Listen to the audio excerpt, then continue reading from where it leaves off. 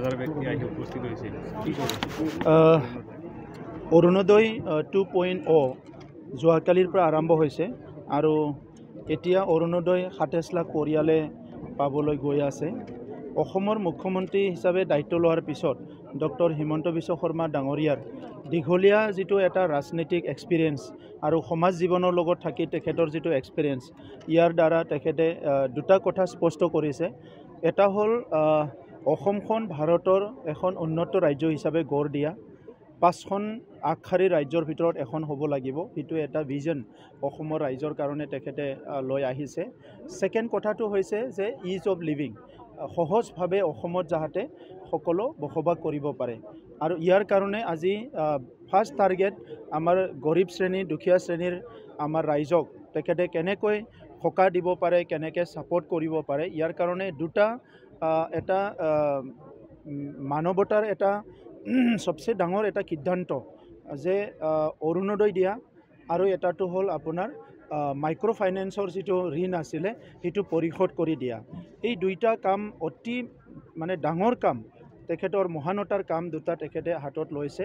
আৰু এতিয়া ইয়াৰ দ্বাৰা যিটো দৈনন্দিন কিবা নহয় কিবা সমস্যাত ভুগি থকা দুখীয়া পৰিয়ালে যথেষ্ট সকাহ পাইছে চাৰি আঠশ টকাৰ পৰা আৰম্ভ কৰি এতিয়া চাৰি বাৰশ টকা পৰ্যন্ত অৰুণোদয় ঠিক কৰা হৈছে। আৰু এই চাৰি সাত লাখ পোৱা কমপ্লিট হোৱাৰ লগে লগে নেক্সট টাৰ্গেট ৰাখিছে তেখেতে আৰু পাঁচ লাখ। আৰু পাঁচ লাখক অৰুণোদয় দিব। এতিয়া তামোলপুৰত আজি প্ৰায় বিছ হাজাৰ কমপ্লিট হ'বলৈ গৈ আছে আগত তেৰ হাজাৰ আৰু চাৰি সাত হাজাৰ। ইয়াৰ পিছত যেতিয়া টাৰ্গেটটো আৰু বাঢ়াব আৰু লগে লগে আমাৰ এই অঞ্চলতো আৰু বেছি অৰুণোদয় পাবলৈ সক্ষম হ'ব। আনপিনেদি যিটো মাইক্ৰ' ফাইনেন্সৰ বিভিন্ন আমাৰ ছেল্ফ হেল্প গ্ৰুপবিলাকে লোন লৈছিলে ঋণ লৈছিলে ইণ্ডিভিজুৱেলে ঋণ ঋণ লৈছিলে এইবিলাক পৰিশোধ কৰি পেলাই তেখেতসকলক সৰু সুৰা সমস্যা যিবিলাক হৈ আছিলে তাৰে পৰা উদ্ধাৰ কৰাৰ কাৰণে যোৱা বছৰৰ পৰা তেখেতে কাম আৰম্ভ কৰিছিলে আৰু এই বছৰৰ বহুতখিনি হাজাৰ হাজাৰ মানে ইয়াৰ পৰা ইয়াৰ দ্বাৰা বহুতে লাভান্বিত হ'ব। চ' এইখিনি কথা ইয়াৰ বাহিৰে ভূমিৰ যিটো সমস্যা অসমত ভূমিৰ সমস্যা বুলি ক'লে ইমান দিন আমি মণ্ডল অফিচত চাৰ্কল অফিচত মানুহে যায় সমস্যাবিলাক সমাধান নহয়। আহ, বসুন্ধৰাৰ দ্বাৰা এইটো চব সমাধান কৰি দিয়া হ'ল। আৰু বি টি আৰতো আমি বৈশ্যমুঠিৰ দ্বাৰা হাণ্ড্ৰেড পাৰ্চেণ্ট প্ৰব্লেমবিলাক ছল্ভ কৰিবলৈ চেষ্টা কৰিছোঁ আৰু এশ শতাংশ নহ'লেও এইটি ফাইভ পাৰ্চেণ্ট প্ৰব্লেম আমি অহা নৱেম্বৰৰ পৰা আৰম্ভ কৰিম আৰু এক ডেৰ বছৰৰ ভিতৰত চব সমস্যা সমাধান হ'ব। ইতিমধ্যে বি টি আৰটো ফাৰ্ষ্ট দহটা ছিক্সিডেল কাউন্সিলৰ ভিতৰত ফাৰ্ষ্ট কাউন্সিল য'ত নেকি লেণ্ড ডকুমেণ্ট আমি হাণ্ড্ৰেড পাৰ্চেণ্ট ডিজিটাইজ কৰিলোঁ। এতিয়া লেণ্ড ট্ৰেন্সফাৰ মিউটেশ্যন বিভিন্ন কামবিলাক আৰু অফিচত নোযোৱাকৈ অনলাইনৰ অনলাইনত আমাৰ ৰাইজে সেইটো কৰি ল'ব পাৰিব। শিক্ষা দীক্ষাৰ ক্ষেত্ৰত বহুতো কাম নিবনুৱাসকলৰ কাৰণে।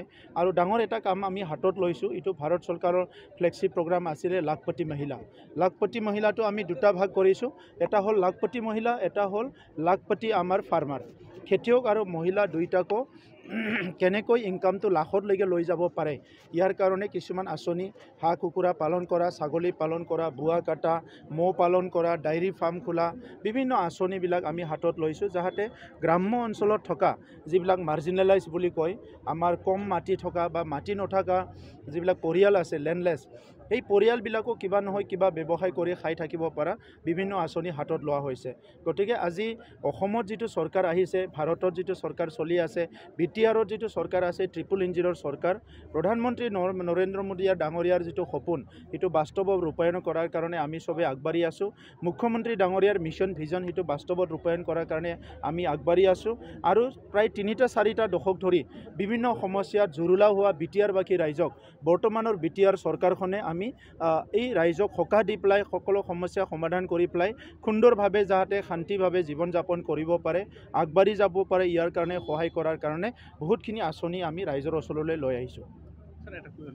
গতিকে যোৱাকালি মুখ্যমন্ত্ৰীয়ে কৈছিলে যে যিকোনো এটা চিটত ইউ পি দিব।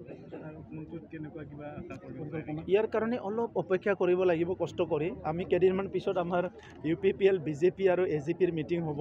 তাৰ পিছতে আপোনালোকক জনাই দিম। আমিতো কোকৰাঝাৰত খেলিম বুলি ঠিক কৰিছোঁ ইউ পি পি এলে। আৰু যিটো দৰং ওদালগুৰি আছে তাত বি জে পিয়ে খেলিব। তথাপিতো অফিচিয়েলি কথাটো কোৱাৰ কাৰণে আৰু কেইদিনমান ৰখিব লাগিব। তাৰপিছত যেতিয়া আমাৰ অফিচিয়েল মিটিং হ'ব কিয়নো আমি এলায়েন্স টিম হিচাপে এন ডি এ হিচাপে কাম কৰি আছোঁ। আৰু তাত ফৰ্মেলি আমাৰ ডিছকাশ্যনবিলাক হৈ যোৱাৰ পিছত ফৰ্মেলি আপোনালোকে চব খবৰটো পাব। আপুনি ভাষণত এটা কথা কৈছে ইতিমধ্যে এপ্ৰুভ দিয়া হ'ল। প্ৰায় দুশ বিছটা নলেজ কেন্দ্ৰ এপ্ৰুভ কৰা হ'ল এই বছৰত আৰু বাকীখিনি অহা বছৰত কৰিম। মানে চাৰিশ বিছটা আমাৰ ভি চি ডি চি আছে। চাৰিশ বিছটা ভি চি ডি চিত চাৰিশ বিছটা নলেজ কেন্দ্ৰ আমি আৰম্ভ কৰিবলৈ গৈ আছোঁ। সেই নলেজ কেন্দ্ৰটো ৱাইফাই থাকিব। সৰু এটা লাইব্ৰেৰী থাকিব এল চি ডি থাকিব য'ত নেকি আমাৰ ষ্টুডেণ্টবিলাকে হওক যুৱকসকলে হওক তাতে বহি বিছ ত্ৰিছজন মানুহ বহি পেলাই যিকোনো কাম তাতে কৰিব পাৰিব।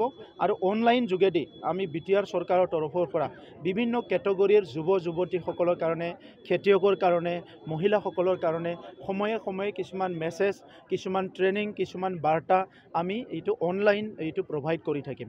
আৰু কমচে কম এক হাজাৰ মানে কিতাপ অনলাইন আৰু অফলাইন তাতে প্ৰভাইড কৰা হ'ব डिजिटेल बड' निउसनिफ्राय गासैखौबो खुलुमनाय आरो बरायनाय बावहरनाय जाबाय मदद आरो हेफाजाबनि नोजोरजों नोंथांमोननि सेराव दं digital Bodo' news web portal सुखु दुखुनि समाव खैदां खैफोदनि समाव नोंथांमोननि राव जानानै ओंखारबोगोन डिजिटेल बड' निउस खौरां दैथायहरनो आरो जोंजों थोंजोङै फोनांजाबनो थाखाय जानबुं नं six nine zero' one five five nine nine one nine उदां आरो सैथो खौरां फोसावनायनि थांखिजों नोंथांमोननि सेराव दं डिजिटेल बड' निउस